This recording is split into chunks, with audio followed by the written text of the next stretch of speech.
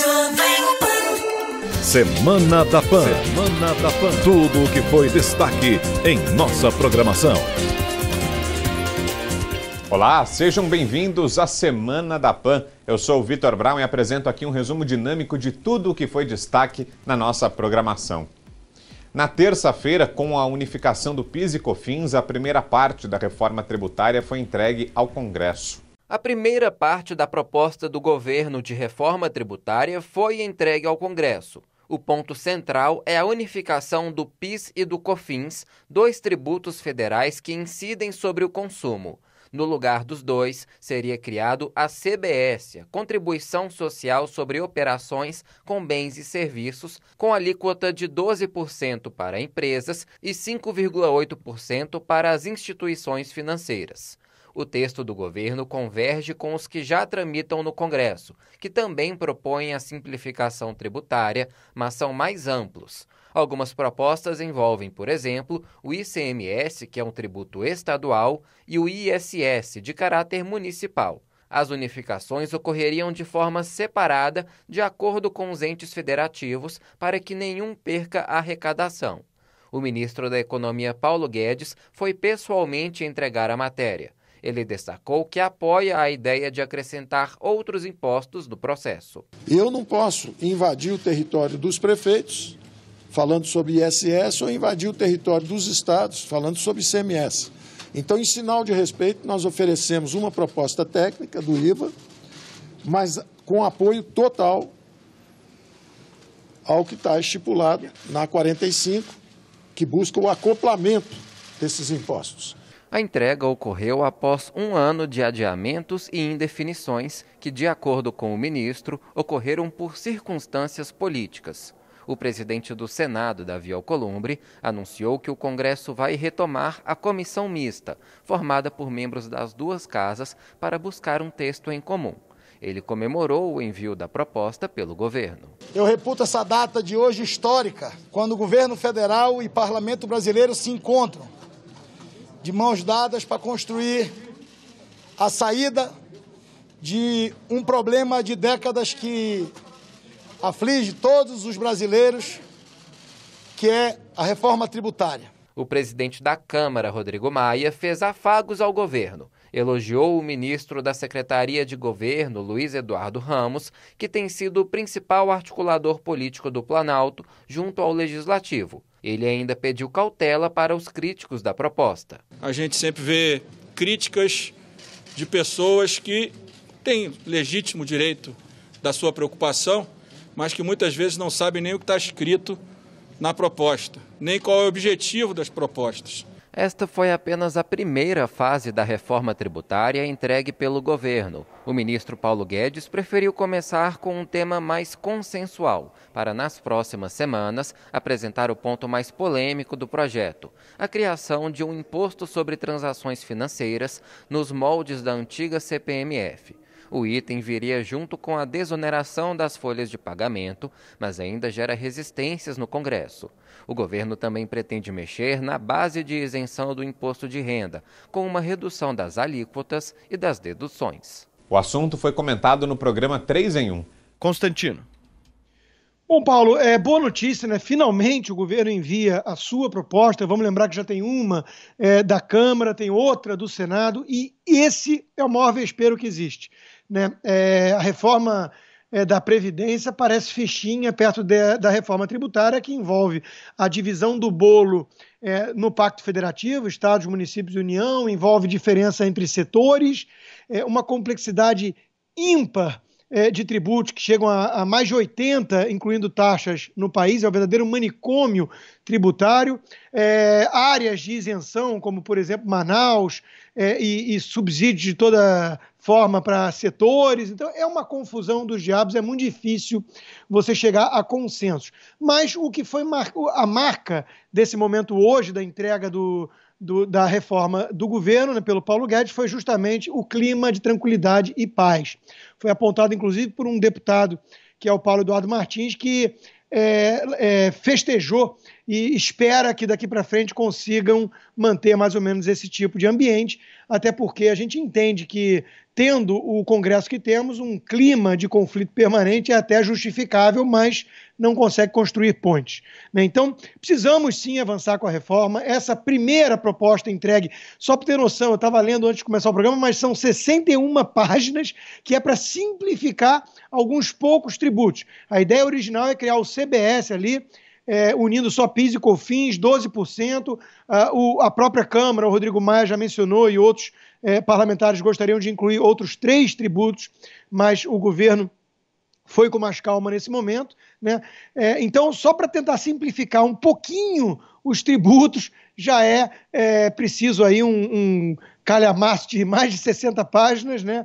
tamanhas as especificidades que temos e as várias diferenças é, e, e, isenções e tudo mais. Então, é, é, realmente uma coisa de maluco que faz a alegria de todos os advogados é, tributaristas no país. Aliás, é um parênteses só de curiosidade, né, anedótica quase, mas reveladora e, e, e simbólica da, da loucura que transformaram o Brasil nesse sentido. É, o Brasil tem, entre os poucos bilionários do país, alguns tributaristas. Né?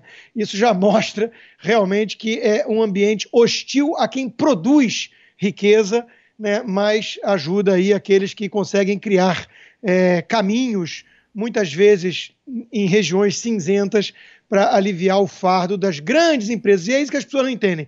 Uma reforma tributária é, ideal, ainda mais do ponto de vista de um liberal, deveria ser mega simplificadora, inspirada talvez no modelo ali de países do leste europeu, criar um flat tax, uma, um tributo de renda único para todas as camadas, para não ficar gerando esse tipo de é, confusão que é, é benéfica só para quem pode bancar um exército de advogados tributaristas caríssimos, né? Mas isso não vai acontecer. E em política, o ótimo pode ser inimigo do bom e do possível. Né? Então, esse projeto, essa proposta que foi entregue, ela aponta na direção correta. Vamos começar simplificando, vamos deixar para uma segunda etapa aquilo que é muito mais polêmico, né, é, que é a questão do, da, da volta de um tributo nos moldes da CPMF, não é exatamente isso, e o Paulo Guedes quer isso junto, né, tem que ter uma visão de pacote com a redução dos encargos trabalhistas, não é só achar que ele quer voltar com o CPMF, é um imposto ruim, é um imposto que incide em cascata, por outro lado, amplia muito a base, inclusive pegando informais e ilegais de todo tipo, o que você permite cobrar pouquinho e ter uma arrecadação expressiva. Então, é, a, a, os debates estão apenas começando. Né? Os mais otimistas acham que é possível fechar esse ano já batendo martelo numa reforma tributária. Eu confesso que por, por, isso que eu já, já trouxe aqui em termos de complexidade e é só a ponta do iceberg, eu não consigo ficar tão otimista. Espero estar errado. Josias. O que o ministro Paulo Guedes entregou hoje no Congresso não é uma reforma tributária. Isso é um remendo. Envolve apenas a unificação de dois tributos, PIS e COFINS. Esse retalho de reforma já havia sido esboçado no governo do Michel Temer, que era um vice improvisado no cargo de presidente. Do Jair Bolsonaro, que é um presidente legitimado pelas urnas, esperava-se algo mais ambicioso. O governo teve um ano e meio para apresentar, não apresentou, e na prática, a timidez do ministro é um reconhecimento tácito de que o executivo perdeu o protagonismo desse debate, perdeu para o Congresso. O próprio Paulo Guedes reconheceu que o executivo entra nessa articulação da reforma como coadjuvante.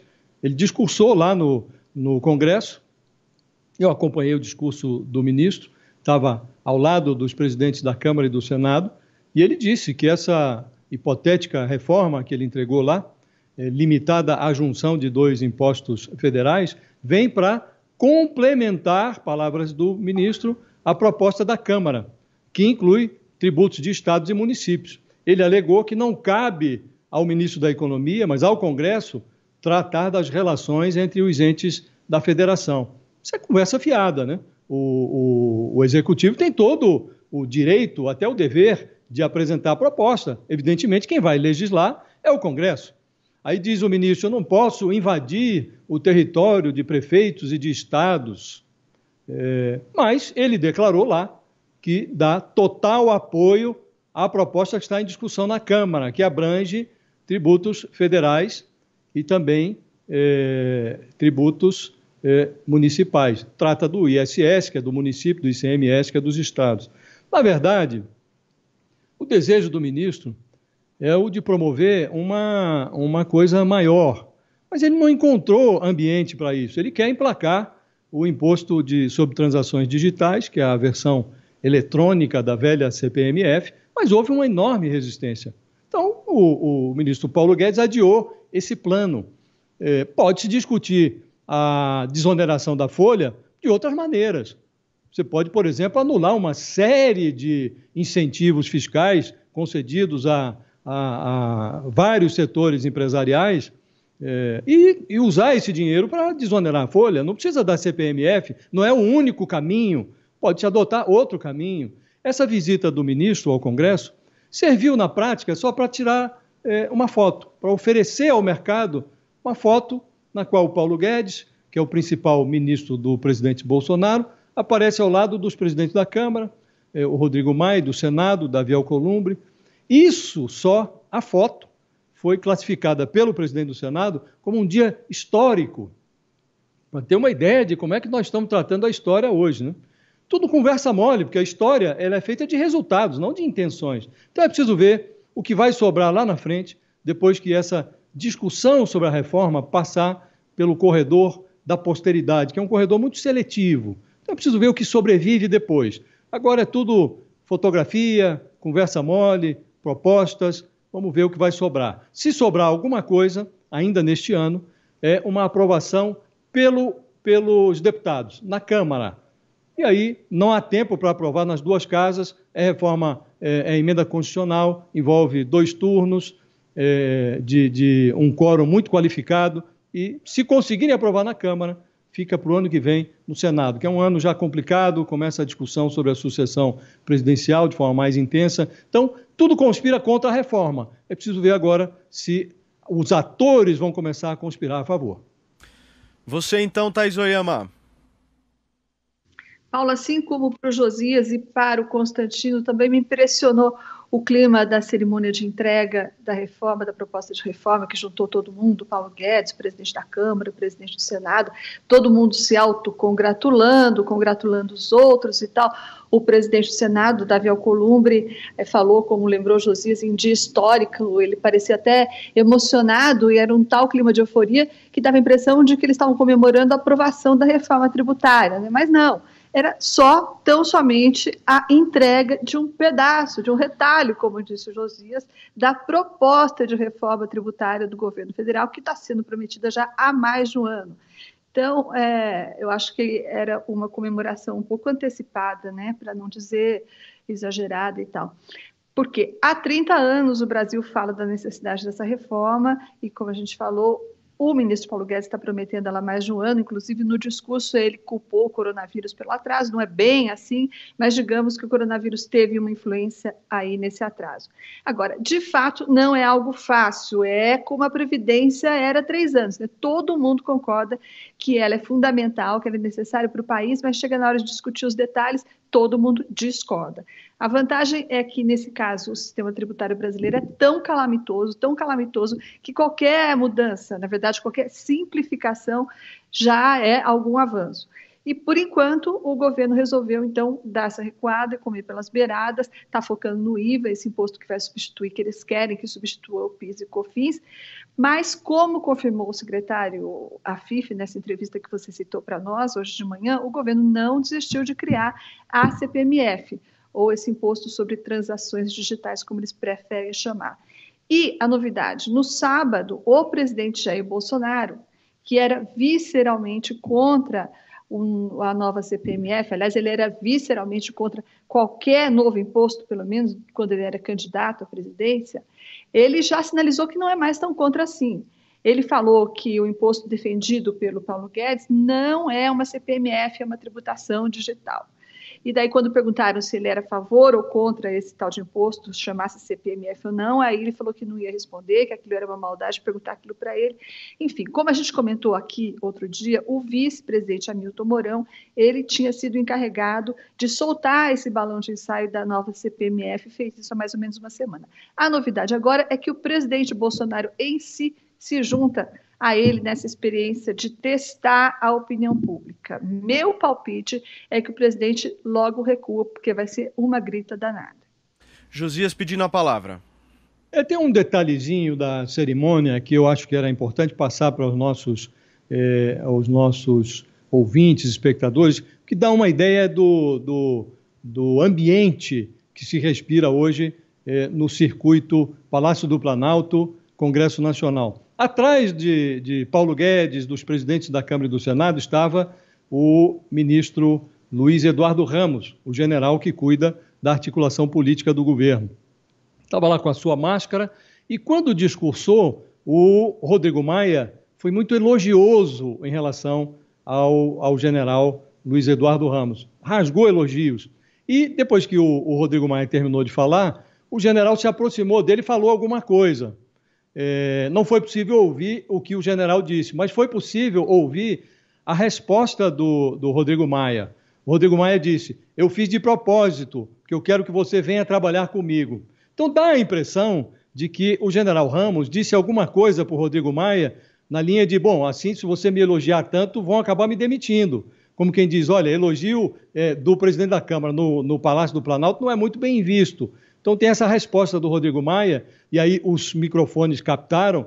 Fiz de propósito, quero que você venha trabalhar comigo. Isso dá uma ideia do, do ambiente que se respira em Brasília. Há um grande esforço para unificar as intenções, para caminhar no, na mesma direção, mas a qualquer momento isso pode sair dos trilhos, porque o ambiente é sempre muito tenso e muito confuso, muito conflituoso. Ainda na terça, após semanas de discussões e negociações com o governo federal, a Câmara dos Deputados aprova o texto base da permanência do Fundeb. A Câmara dos Deputados aprovou o texto base da proposta de emenda à Constituição que garante a renovação do Fundeb. O fundo que financia a educação básica perde validade no fim do ano e a não renovação ameaçava a continuidade do ensino em estados e municípios.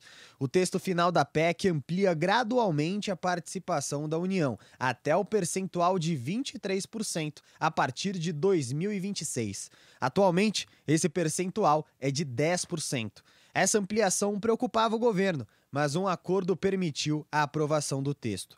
A relatora, a deputada professora Dorinha Rezende, disse que a manutenção do Fundeb era essencial para corrigir distorções na educação brasileira. Esta casa assume um compromisso público com a educação brasileira, a garantia e o respeito a milhares de crianças e jovens e a, e a capacidade e a esperança que a educação pode trazer para o nosso país.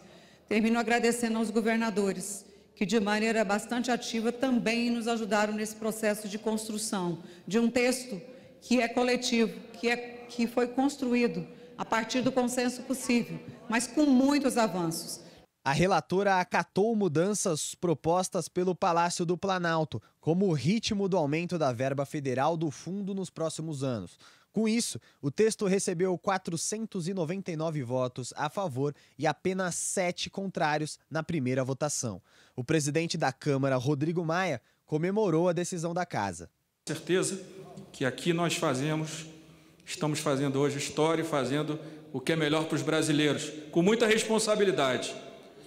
Muitos acham que a gente não sabe que aumentar o Fundeb de 10 para 23 não nos gera responsabilidade sobre o financiamento desses recursos.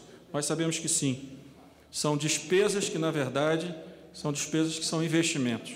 Líder do governo na Câmara, o deputado Vitor Hugo, do PSL, disse que a aprovação do texto era um desejo do governo federal. Acho que a educação básica, que é uma prioridade do governo Bolsonaro, vai ter o um financiamento para o desenvolvimento e manutenção garantidos, inclusive com uma participação da União ainda maior do que se havia pensado inicialmente. Agora, o texto segue para o Senado, onde também vai passar por votação em primeiro e segundo turno. Se for aprovado, com alterações pelo Senado, a PEC vai voltar para a Câmara, que terá a palavra final sobre a medida. A decisão foi analisada em Os Pingos nos Is. Há pouco, o presidente Jair Bolsonaro falou sobre o Fundeb. Vamos acompanhar. Uma negociação que levou anos, queriam 40%, eu queria dar 200%, mas só que não tem dinheiro. Então foi negociado, passou para 23%, comum acordo. E a Câmara e o Executivo né, mostrou responsabilidade na aprovação do Fundeb do dia de ontem. Então o PT ficou 14 anos no poder, não fez nada. Ou melhor, via Neto Paulo Freire nos colocou em último lugar no PISA. Certo? O governo conseguiu ontem mais uma vitória. E aprovamos o Fundeb e o Senado deve seguir o mesmo caminho. Graças a Deus. Então, está aumentando a participação do Estado. Coisa que o PT podia fazer lá atrás, não fez, né? nós fizemos, aumentamos a contribuição do Estado. Uma votação quase unânime. Seis ou sete votaram contra. E se votaram contra, deve ter seus motivos. Vou perguntar para eles por que votaram contra. Ainda sobre a agenda do Legislativo, nesta quarta-feira a Câmara aprovou uma medida provisória que cria um auxílio financeiro da União de até 16 bilhões de reais aos estados e municípios para compensar perdas financeiras em decorrência da pandemia de Covid-19. Os fundos estão previstos na Constituição e são compostos por impostos arrecadados pelo governo federal. A Câmara tentou votar a MP no início da madrugada desta quarta, após a aprovação da PEC do Fundeb, mas houve resistência da oposição. Começo essa com você, Fiuza. O que, é que achou da decisão da Câmara, da aprovação do Fundeb? Olha, Vitor, o... eu acho que não era bem isso que a equipe econômica do governo queria, não. Né? Quer dizer, acho que acabaram cedendo, fazendo um acordo sofreram muita pressão né, do, do país inteiro. E Mas o negócio é o seguinte: a equipe econômica, nesse momento de pandemia e de escassez de recursos, é, como em todo momento é, é correlato de grandes crises, ela quer, né, para melhor gerir a questão fiscal, ela quer menos dinheiro carimbado, né? É, ela quer menos compromisso uh, uh, amarrado em termos de orçamento.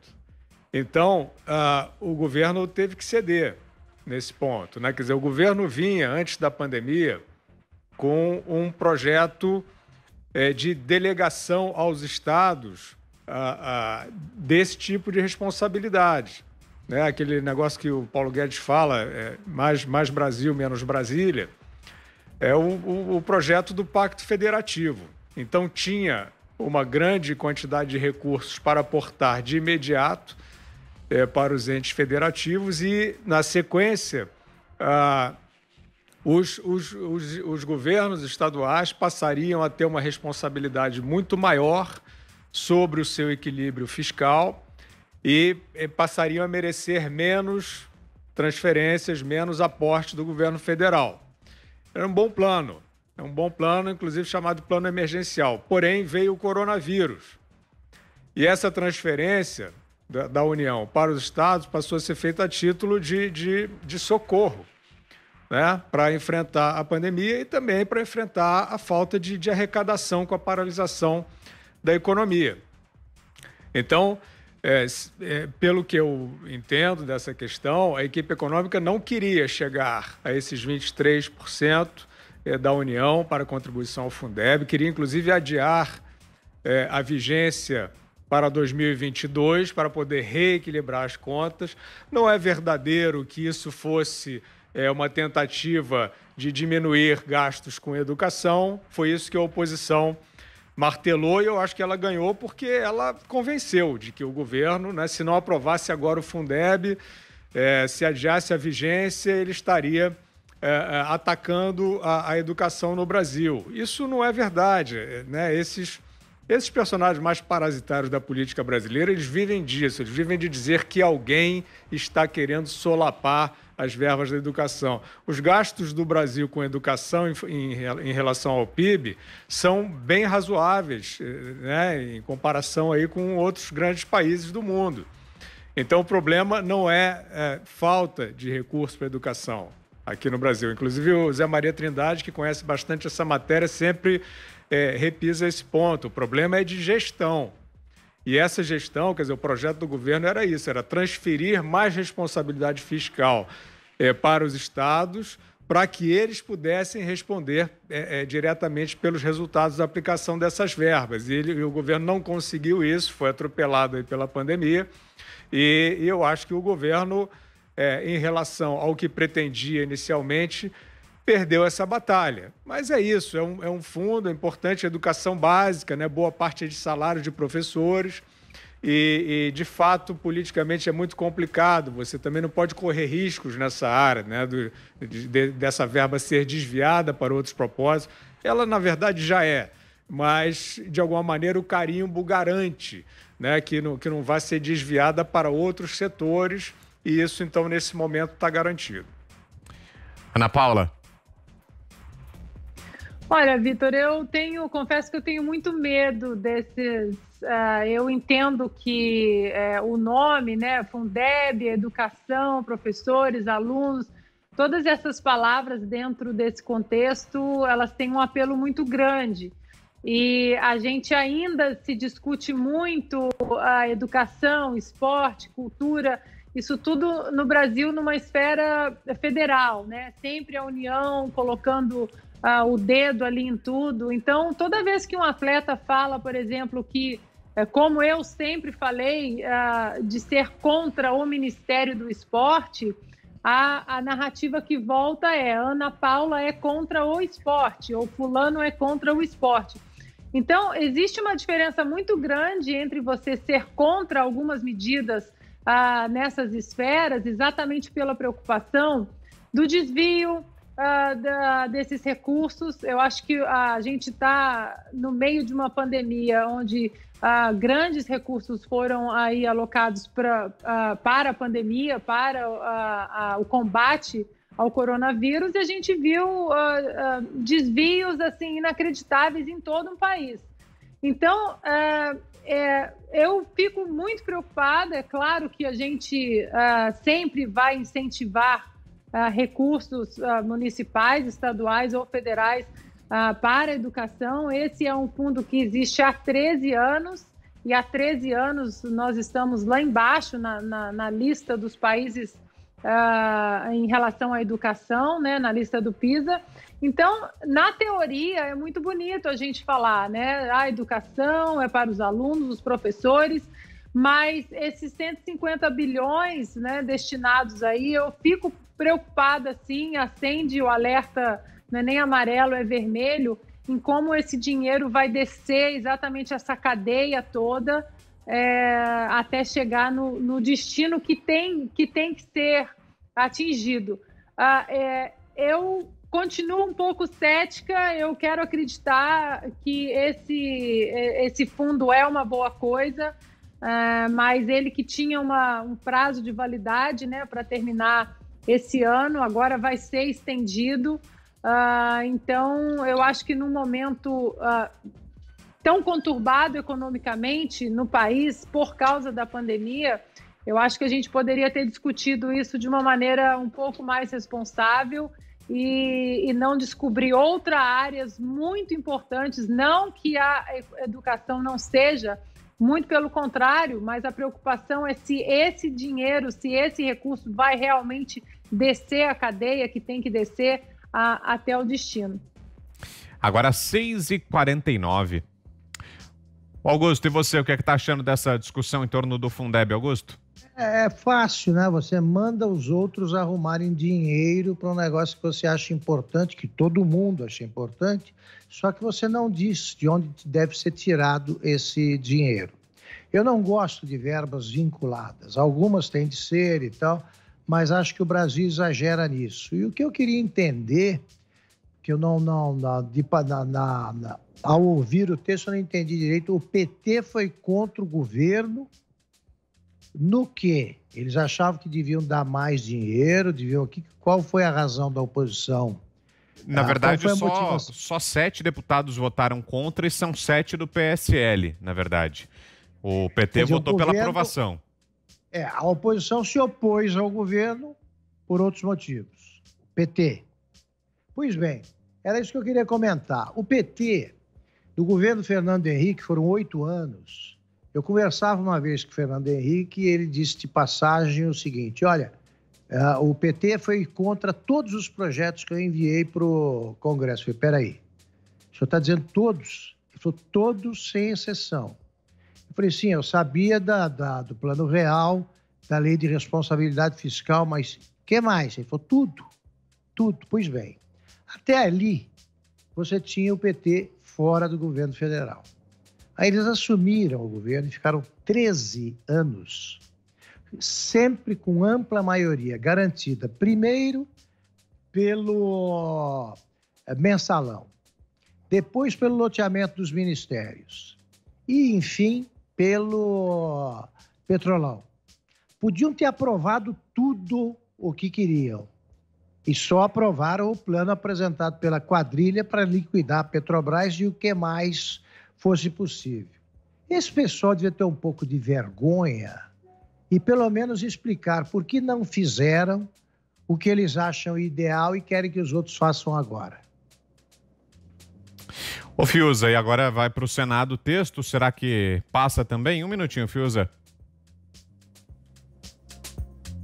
É, eu acho que é, é, realmente a campanha, essa campanha com uma premissa falsa, né, de quem não aprovasse aquele percentual exato, imediato para o Fundeb, é, tornando o fundo permanente, era contra a educação. Essa premissa, na minha opinião, é falsa. Esses deputados aí que votaram contra, é, eles, eles têm é, é teses que não são contra a educação.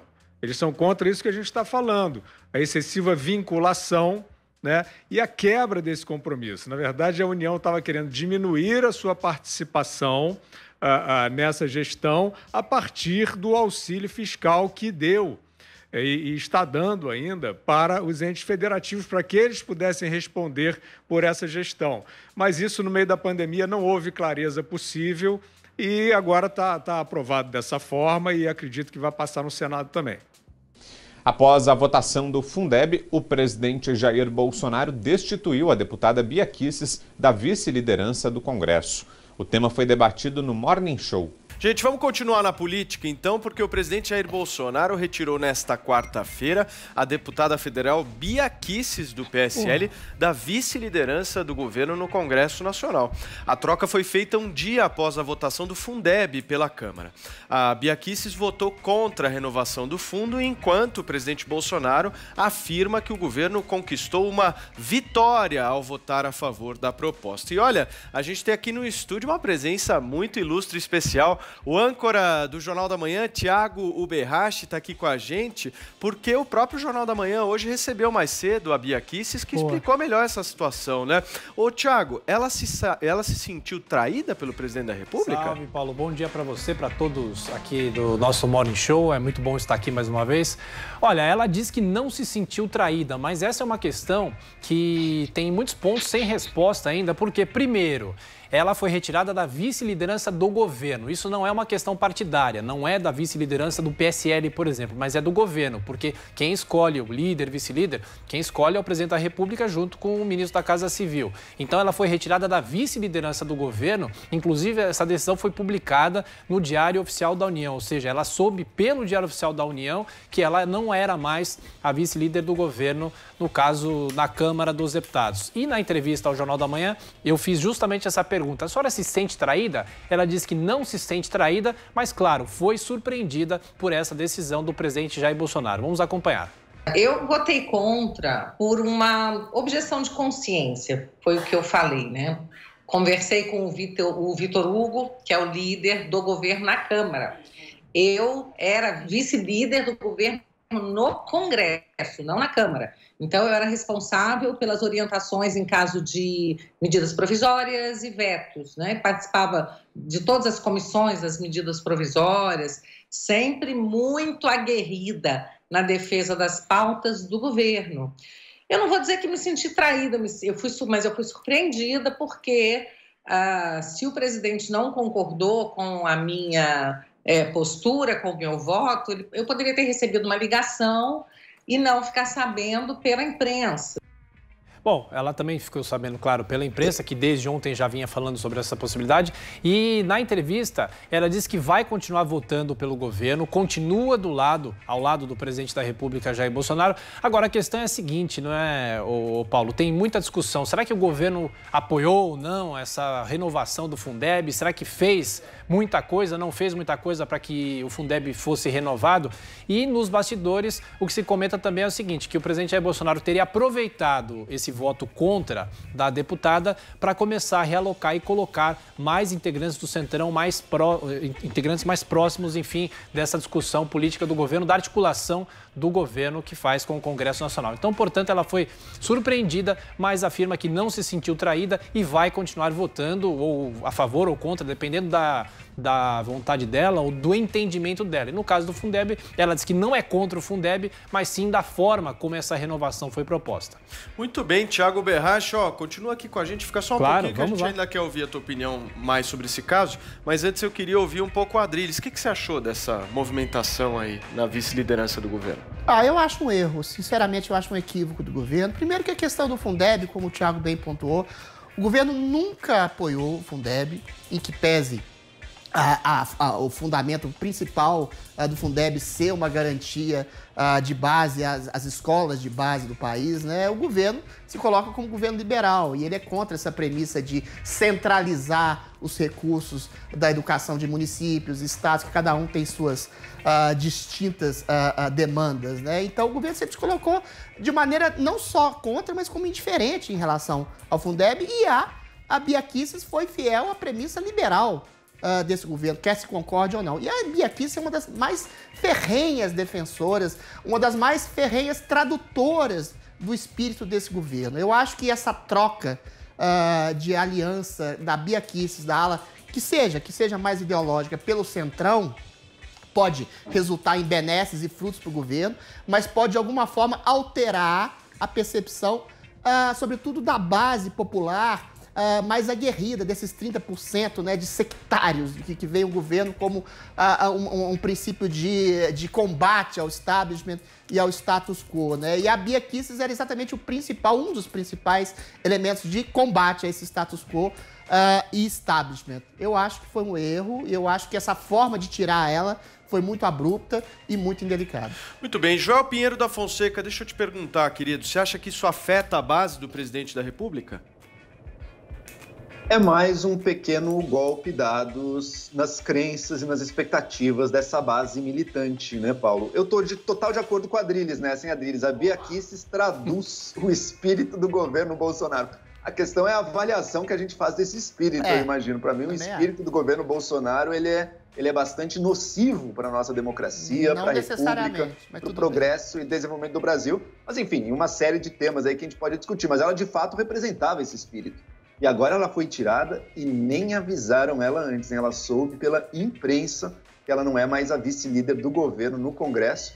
O governo está se aproximando de outros partidos. O governo quer ser mais eficaz nas coisas que ele faz e propõe e quer estar menos ligado a essa loucura, esse surto ideológico que a Bia Kicis representa. Né? Lembrando que ela foi uma das que passou aquele vídeo falso né, das Farc apoiando o Lula. Assim, é uma cabeça que vive num, num clima de, de paranoia da luta contra a esquerda ali. É uma coisa muito, muito fanatizante. E agora esse tipo de comunicação deve ter menos, menos espaço no governo. Ô Thales, uma dúvida que eu tenho, me tira essa dúvida. Nós temos um novo presidente da República? É. É, olha, eu acho que desde a prisão do Fabrício, o presidente está mudando a cabeça. Por quê? Porque é, ele sentiu que ele vai precisar de, é, de ter mais segurança para permanecer no poder, diante da aproximação de denúncias contra o filho dele. O Fabrício foi achado na casa do advogado dele, e do, do, do advogado do, do Flávio, que era o Assef. Então, ele precisa de mais segurança. Quem dá essa segurança? Os generais do Palácio e o Centrão no Congresso. É, e outra coisa é o seguinte: o Bolsonaro nunca foi liberal. Ele se tornou liberal é, com os ventos liberais pré-eleições de 2018. Aí ele se tornou liberal. Uh, veio o Paulo Guedes, fez a cabeça dele, etc. Mas o Bolsonaro, antes, nunca foi liberal. É, eu acho que o Paulo Guedes tem que começar a se cuidar, porque o, também os militares não são liberais. E os militares estão ganhando espaço. A Bia Kicis saiu a mando do general Luiz Eduardo Ramos. Saiu, antes disso, saiu Daniel Silveira, outro bolsonarista de raiz, e que falou publicamente: o Luiz Eduardo Ramos está me tirando para botar gente do Centrão. E antes saiu o, o Otone, que foi o Otone de Paula, outro vice-líder do governo que foi defenestrado porque xingou o ministro Supremo Alexandre de Moraes. O Bolsonaro está mudando. É, é, o Bolsonaro é um pragmático. Ele, ele fazia aquelas. É, ah, falava aquelas coisas para ter mídia e teve mídia para conseguir a eleição. Agora, ele vai fazer tudo para permanecer no poder. E se tiver que o Bolsonaro largar o bolsonarismo, ele vai largar. E essa gente tem que começar a se cuidar, porque é, se tiver que largar o liberalismo, ele também vai largar. Perfeito. Espera só, pera só, só, só, só, um minuto, Adriles. Eu queria ouvir um pouco o nosso Tiago Berracho. O que, que você achou dessa alteração?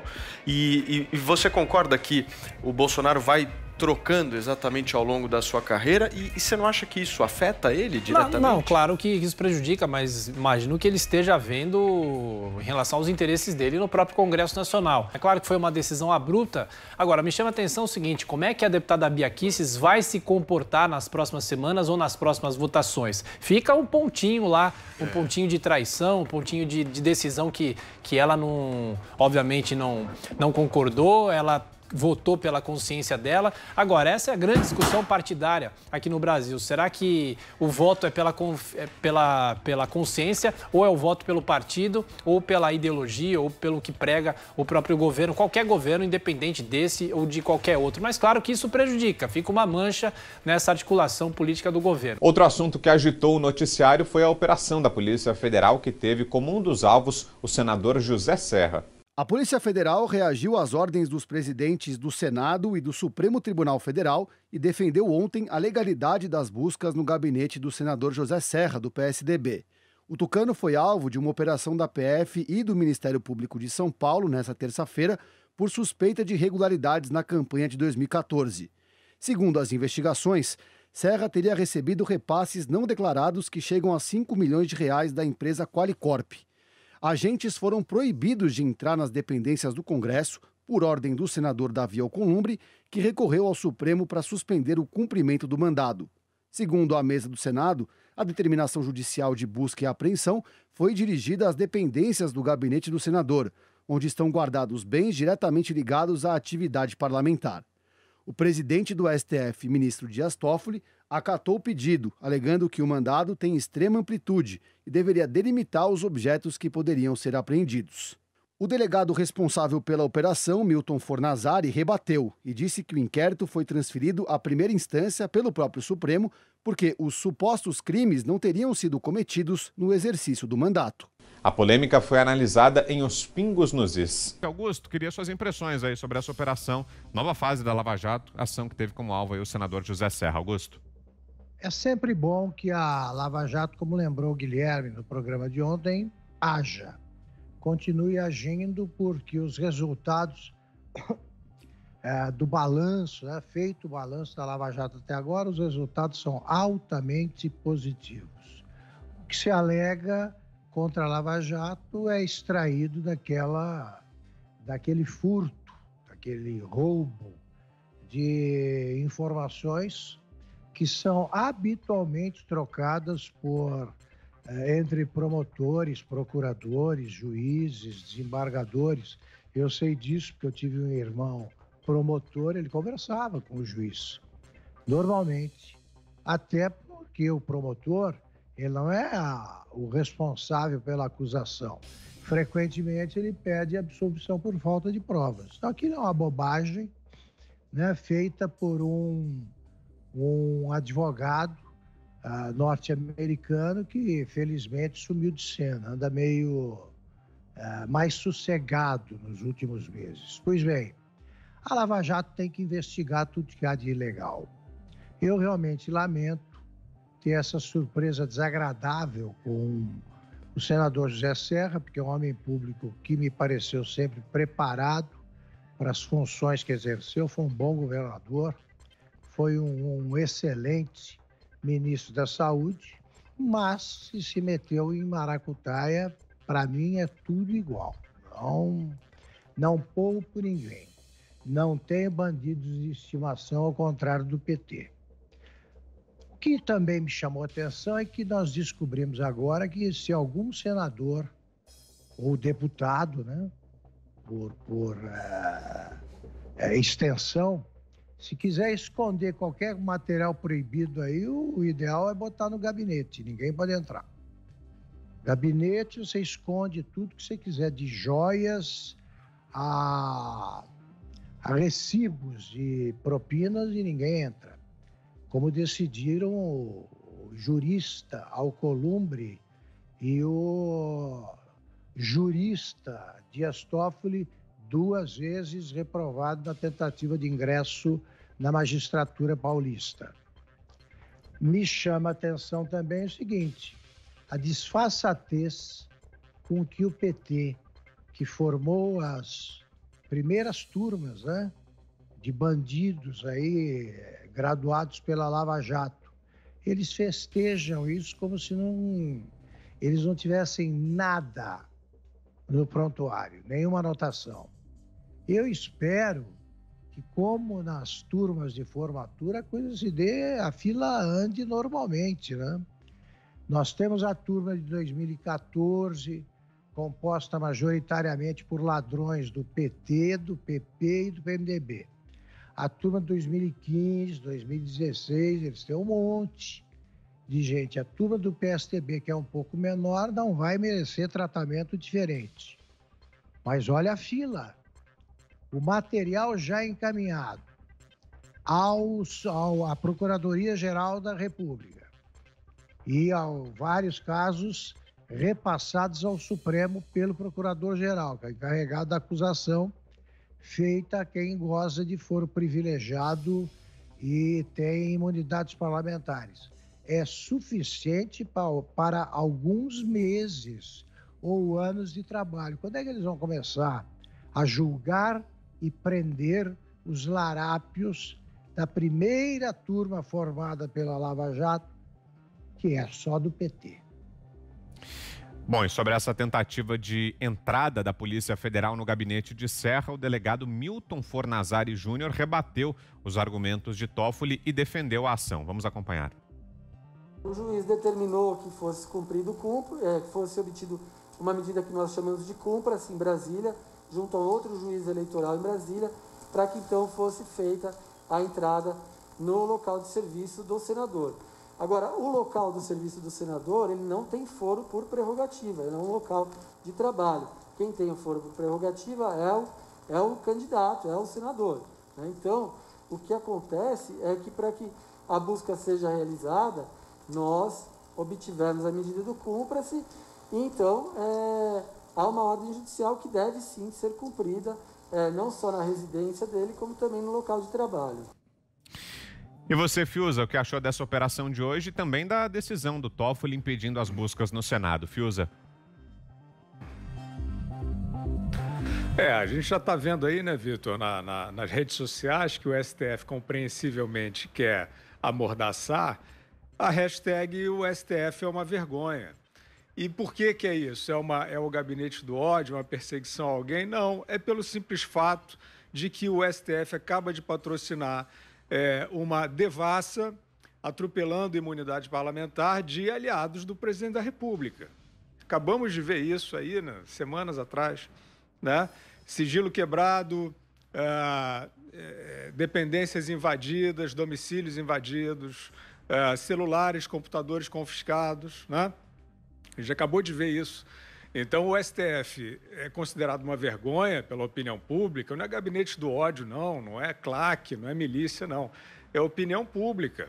Está se manifestando pela internet porque está vendo que é uma falta absoluta de critérios na sua ação. Né? Acaba de defender é, é, um, um, senador de ser é, vasculhado é, é, pouquíssimo tempo depois de patrocinar ele mesmo o STF, né? o avanço sobre é, direitos de parlamentares ligados ao, ao governo, essa é a única diferença. Essa é a única diferença. Parlamentares ligados ao governo, então, merecem o faroeste, né?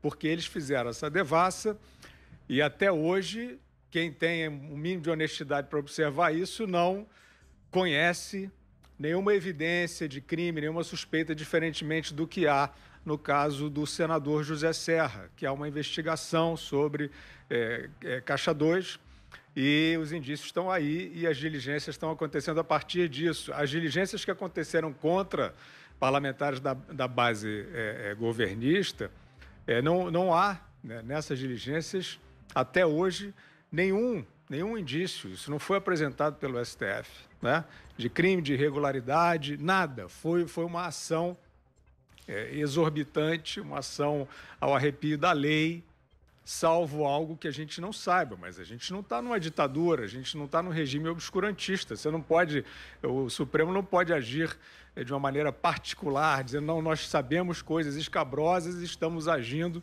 arrepiando aqui, e depois a gente vai, vocês vão entender por quê. Não é assim que funciona. Acabamos de ver o delegado aí da PF ali trazendo os, os, as diretrizes que é, é, demarcaram a ação é, por lá né, é, proposta pela, pela Polícia Federal. Ô, Vitor, eu acho que essa, é, assim, a, a, posição do Supremo Tribunal Federal em relação a essa operação contra o, José Serra, ela me lembra é, de algumas coisas. Acabei de falar é, um inquérito, né, sobre aquele inquérito de fake news, que é um, um nome fantasia hoje em dia para qualquer ato é, autoritário ao arrepio da lei, você diz que é fake news e você pode tudo. Né?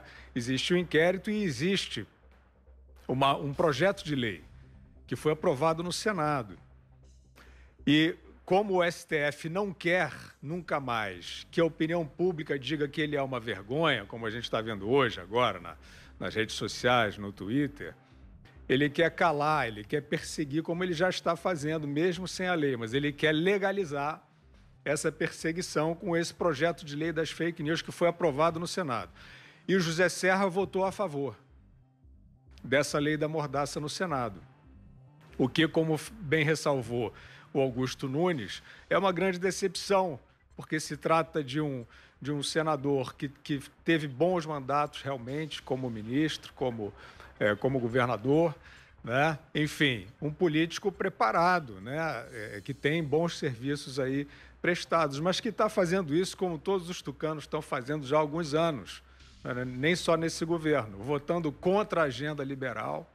E, nesse momento, o Serra, junto com o Tasso, Tasso Gereissati, lá votando pela mordaça. O Serra, inclusive, o voto dele apareceu é, na ocasião como é, é, se absteve, mas ele mesmo é, é, veio é, é, dizer que, que foi um erro, né? aquela votação remota foi um erro que ele votava a favor. Ele tinha até destaques, mas ele votou a favor. Eu vejo, Vitor, uma, é, é, uma, uma conexão entre esses interesses aí. Né? Quer dizer, tragicamente existe mesmo um movimento em altas esferas da República, e nesse caso unindo o STF e parte aí do, do Congresso, para um projeto de cerceamento das liberdades. E hoje, a polícia né, teve a sua ação cerceada, né, não falam tanto de intervenção na Polícia Federal. Hoje foi o Dias Toffoli que, que fez a intervenção na Polícia Federal. Aliás, eu gostaria de ver o, o Sérgio Moro falar sobre a, a, a intervenção do Toffoli na Polícia Federal. O Sérgio Moro tem falado muito aí, tem feito né, mensagens é, é, no Twitter de, de, aí de empatia, dia do amigo e tal, mas nesse, nesses casos ele não tem aparecido. Né? E o Deltan Dallagnol também, eu acho que o, o, o Deltan, eu não ouvi também ele falar sobre os arrobos do STF contra deputados da base governista. Né? Então, o tal do bolsonarismo hoje, Vitor, ele é baliza para muita coisa, para muita tomada de posição aí que a gente está vendo na cena política brasileira. E aí, Ana Paula, quero ouvi-la também, Ana. Não, eu acho que eu, eu, queria reforçar o que o Fiuza comentou, exatamente nessa diferença né, de tratamento da inviolabilidade, né, no caso do Serra e dos deputados né, que foram alvo de busca e apreensão, estão sendo, estão sendo investigados aí é, nesse inquérito obscuro aí da, de, de fake news. A, a, única coisa que eu discordo do Fiuza é que o tal do gabinete do ódio, né, que até hoje está para ser encontrado, cometeu um crime sim, um crime de opinião, que hoje no Brasil parece ser um crime hediondo, né? Que tem que ser caçado pela maior, pela corte mais alta é, do país. Então, o que a gente está vendo, Vitor, é a sociedade com os valores totalmente invertidos, né? Parece que falar na internet, se expressar o que pensa, não apenas das instituições e das esferas constitucionais uh, do nosso país, mas de seus agentes políticos e públicos, isso virou um crime, enquanto investigações e é, possíveis crimes né, de caixa 2 em campanhas eleitorais, isso aí é, tem um salvo-conduto da corte mais alta uh, do país. É, fica cada dia mais óbvio, né, como o Fiuza bem colocou, que ali aos amigos né, dos, dos, dos Supremos, das excelências do Supremo e dos presidentes das casas legislativas, parece que esses amigos eles têm salvo-conduto para tocar exatamente uh, uh, como a política brasileira vem sendo tocada há muitos anos e que depois dessa última eleição a sociedade despertou de uma maneira uh, uh, mais uh, cívica, de cobrança mesmo. E eu acho que enquanto nós não começarmos a lembrar a mais alta corte do país, que acima da mais alta corte do país ainda está a Constituição e a sociedade, eles não vão se tocar que quem toca, que eles são nossos servidores. Então, eu volto, eu volto no assunto de que temos que é, é, cobrar desses ministros do Supremo, ah, dentro das esferas democráticas e constitucionais, penalidades por suas ações. E eu volto a repetir que temos que começar a considerar algum impeachment desses ministros que saem das suas esferas constitucionais. Na quinta-feira, Geraldo Alckmin foi denunciado pelo Ministério Público de São Paulo pelos crimes de corrupção passiva, falsidade ideológica e lavagem de dinheiro. A decisão afetou a corrida eleitoral na capital paulista. O ex-governador de São Paulo, Geraldo Alckmin, pediu para deixar a coordenação da campanha de reeleição de Bruno Covas à capital paulista. O prefeito divulgou a informação em entrevista coletiva nesta quinta-feira, horas depois de o Ministério Público apresentar uma denúncia contra o ex-governador. Segundo os promotores, o tucano cometeu os crimes de falsidade ideológica eleitoral, corrupção passiva e lavagem de dinheiro. Bruno Covas reiterou que acredita na inocência de Alckmin. Eu queria mais uma vez aqui ratificar o entendimento de que acredito na inocência do ex-governador Geraldo Alckmin e depois de 42 de anos de vida pública, sai com patrimônio eh, e hoje não exerce nenhum cargo público menor do que tinha quando começou as suas atividades. Eh, ele mesmo pediu para que possa se focar na sua defesa, para se afastar eh, da campanha. Você acompanhou aqui a Semana da PAN, o resumo de tudo que foi destaque em nossa programação. Para mais informações, acesse jp.com.br. Um grande abraço e até semana que vem. Semana da Pan. Semana da Pan. Tudo o que foi destaque em nossa programação.